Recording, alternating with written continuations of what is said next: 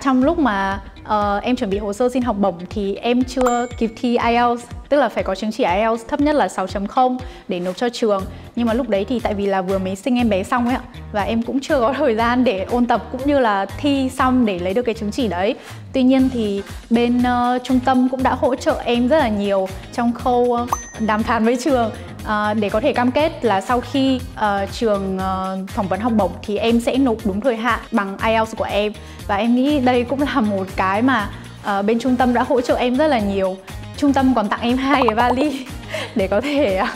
đựng uh, đồ dùng cá nhân mang sang thụy sĩ nữa. Và trung tâm còn uh, hỗ trợ tiền vé máy bay nữa. Cái này em cũng khá bất ngờ khi mà em được rất là nhiều thứ ngoài những việc như là chuẩn bị hồ sơ uh, xin visa du học thì trung tâm còn uh, hỗ trợ cho em tiền vé máy bay cũng như là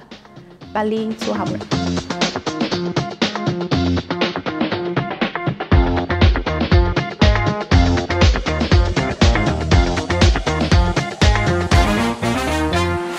Em là anh Tú, em năm nay 24 tuổi và ở trước đây thì em có học ngành tài chính của trường Đại học Kinh tế Quốc dân. À, sau đấy thì em có làm ở ngành marketing và hiện tại thì em sẽ đi du học ở Thụy Sĩ ngành ờ, quản trị khách sạn. Sau khi mà làm việc một thời gian dài khoảng 5 năm ở trong ngành uh, dịch vụ khách hàng uh, liên quan đến uh, mảng hospitality thì em thấy là mình rất phù hợp với cái ngành này và cái ngành này thực sự là đam mê của em. Cho nên là em đã quyết định đi du học lên cao hơn để có cơ hội việc làm cũng như là có thể trau dồi kiến thức và kinh nghiệm để làm trong lĩnh vực này.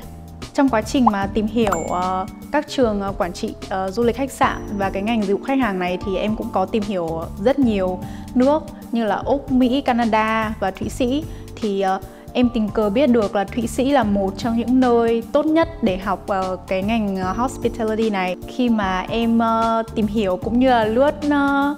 các cái web để mà tìm trường ấy ạ thì uh, em tìm thấy SHMS và em thấy là chương trình học cũng như là kiến thức ở đây phù hợp để em uh, có thể apply học ạ. Em cũng từng uh, xem qua trường Le Roche với cả là Glion thì hai trường đấy cũng khá là ok ở Thụy Sĩ. Tuy nhiên thì chương trình học khá là dài và em thì ờ, có gia đình và con nhỏ ở Việt Nam cho nên là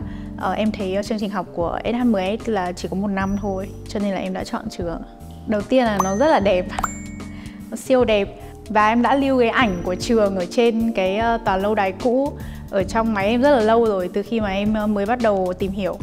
Uh, sau đấy thì SHMS như em nói là có chương trình uh, học rất là phù hợp với em khá là ok để mình vừa học 6 tháng uh, học uh, kiến thức và 6 tháng uh, thực tập trường khá là đa dạng văn hóa. Uh, có rất nhiều bạn ở trên thế giới uh, sau khi em tìm hiểu thì em thấy là như vậy. Lý do mà em chọn cái master course đấy của trường uh, SHMS thì đầu tiên là cái cái khóa học này với cái thời gian rất là hợp lý. Như em đã nói là chỉ một năm để em có thể uh, vừa học vừa vừa làm. Và thứ hai là nó rất là thực thực tiễn có thể áp dụng thực tế luôn. Không chỉ học kiến thức mà em thấy ở đây mình còn được thực hành ngay trong khi học. Giống như là đi vào bếp để học uh, những cái liên quan đến F&B liên quan đến bếp này hoặc là liên quan đến tiền sảnh khách sạn hoặc là uh, tham dự những cái event uh, để sinh viên có thể uh, trau dồi kiến thức cũng như là kinh nghiệm làm việc uh, ngay tại thời điểm học ở trường Thật ra là quyết định đi du học là đã có trước khi em uh, có bầu và có gia đình rồi và em định học xong chương trình đại học thì em sẽ đi du học ngành này.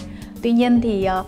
lỡ kế hoạch cho nên là uh, em đã phải uh, tạm gác lại cái ước mơ đi du học đấy và em đã nghĩ là mình không thể ờ, đi du học được nữa tại vì mình đã có con và đã có gia đình ạ. Tuy nhiên thì sau khi mà em sinh em bé xong thì chồng em lại là người khuyên em đi du học và uh, rất là ủng hộ cái ước mơ này của em. Và chồng em cũng thấy là đây là thời điểm khá là hợp lý để em có thể uh, đi du học uh, tầm khoảng một năm thôi và uh, quay trở về với cả em bé và chồng uh, em thấy cũng không có khó khăn gì. Tại vì là ở ở trung tâm thì các chị đã hỗ trợ rất là nhiều thông tin và hướng dẫn em làm hồ sơ rồi ờ, viết motivation letter làm cv email cho trường. Tất cả những cái khâu đấy thì em thấy là các chị ở đây đã hướng dẫn em rất là đầy đủ và hỗ trợ em nhiệt tình nhất có thể rồi. Cho nên là em thấy ờ, hóa ra là cái việc du học nó lại đơn giản hơn là em nghĩ. Thay vì là một mình phải ờ, tự tìm hiểu rồi loay hoay tìm kiếm rất là nhiều thông tin để liên hệ với trường rồi xin học bổng uh, xin visa du học với học bổng này thì em cũng khá là may mắn vì nhận được học bổng ờ, 25% từ phía đại diện trường. Đầu tiên là em nghĩ là mình cứ thể hiện những gì mà mình là là bản thân mình nhất sau đấy thì thể hiện được những cái ờ, điểm mạnh của mình như là leadership hoặc là kỹ năng ở trong ngành uh, hiểu biết của mình ở trong ngành này. Quan trọng là tương lai mình sẽ làm như thế nào tức là mục tiêu và định hướng của mình. Uh, có rất là nhiều kế hoạch mà cái ờ, hành trình du học này sẽ là cái tiền đề cũng như là đòn bẩy của em à, em rất là mong đợi là có thể uh, tốt nghiệp bằng xuất sắc của trường uh, trở thành uh, đại sứ sinh viên của trường tại Việt Nam và uh, xây dựng nhiều dự án cộng đồng cho bên trường cũng như là sau khi em trở về Việt Nam ạ. À, đầu tiên đấy là mình phải có một bộ hồ sơ để gửi cho trường. Nó bao gồm là bức thư động lực uh, motivation letter, rồi ờ, uh, CV cũng như là hồ sơ bằng cấp của mình trước đấy. Tức là um, em học thạc sĩ thì em sẽ cần bằng đại học và một số những cái giấy tờ khác. Sau khi mà gửi hồ sơ đấy cho trường thì mình sẽ được set up một buổi uh, phỏng vấn uh, học bổng với bên đại diện trường à, và quyết định là từ bên phía đại diện trường. Và trong quá trình chuẩn bị hồ sơ này thì như em đã nói là uh, các chị như là chị uh, Lam và chị Chi đã hỗ trợ em rất là nhiều trong khâu chuẩn bị cũng như là cung cấp những cái thông tin cần thiết cho em biết là em nên chuẩn bị những cái gì để hồ sơ của em thật đẹp và thật tốt uh, để có thể nhận được học bổng. Và và có một điểm nữa đấy là trong lúc mà uh, em chuẩn bị hồ sơ xin học bổng thì em chưa kịp thi IELTS tức là phải có chứng chỉ IELTS thấp nhất là 6.0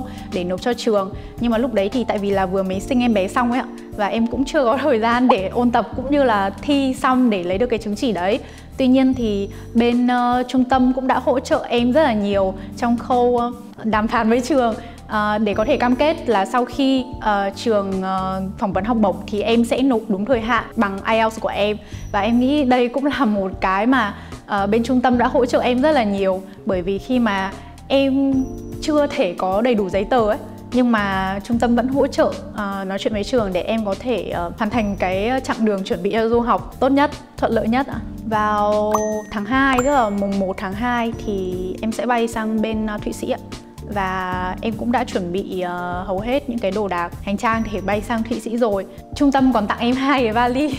để có thể uh, đựng uh, đồ dùng cá nhân mang sang Thụy Sĩ nữa. Và trung tâm còn uh, hỗ trợ tiền vé máy bay nữa. Cái này em cũng khá bất ngờ khi mà em tìm hiểu những cái trung tâm khác. Em thấy trung tâm mình hỗ trợ cho em được uh, rất là nhiều thứ ngoài những việc như là chuẩn bị hồ sơ uh, xin visa du học thì trung tâm còn uh, hỗ trợ cho em tiền vé máy bay cũng như là vali du học nữa. Cảm xúc của em thì chắc chắn là sẽ rất là hạnh phúc và vui mừng khi mà ước mơ thành hiện thực. Kèm theo đấy thì cũng rất là nhiều áp lực bởi vì uh, em có gia đình rất là ủng hộ cũng như là có một em bé nhỏ ở nhà. Cho nên là em nghĩ là đấy là trách nhiệm của em và cũng như là uh, động lực để em có thể học tập thật là tốt và quay trở về với bên gia đình ạ. À, À, em rất là may mắn khi mà có gia đình của em ở hiện tại. À, đấy là một trong những cái điều may mắn nhất mà em có ở trên cuộc đời này. Và em sẽ cố gắng uh, để khiến cho gia đình em tự hào về em chấm điểm ạ. Em chấm 10 trên 10